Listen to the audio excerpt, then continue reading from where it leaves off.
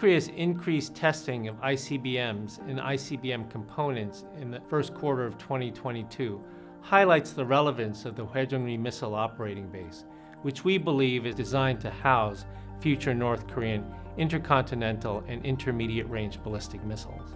Its location on the border with China would make it difficult for the United States or any other country to consider preemptive actions against that base as it might involve the security equities of China.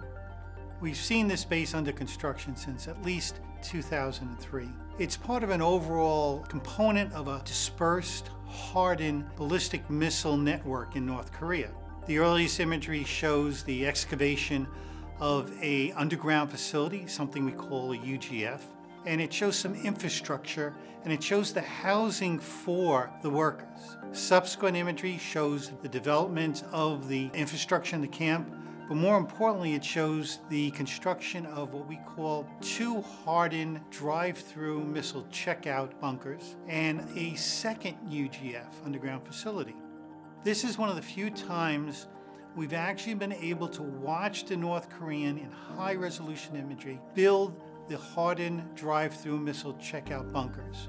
And we have great imagery of them being built, the concrete forms being placed, the walls being placed. So it's great to have that high resolution and it gives us a sense of timing of how long it takes them. The most recent imagery shows that the facility is essentially complete from an infrastructure standpoint. According to informed sources that we've spoken with, this will house a intercontinental ballistic missile unit, ICBM, which could reach as far as the United States. So North Korea's upsurge in testing of longer range missiles demonstrates a drive to acquire the capabilities to reach the United States with an intercontinental ballistic missile.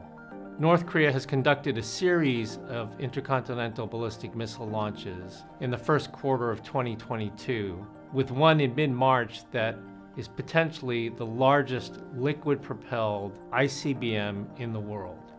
So we don't know whether China is aware of the placement of this base uh, near its border, but what we do know is China does not demonstrate any concern or threat with regard to North Korea's ballistic missile program. And the fact that there is a base for North Korea that could strike the United States that is rendered somewhat invulnerable to preemptive strikes is something that both advantages the North Koreans and the Chinese.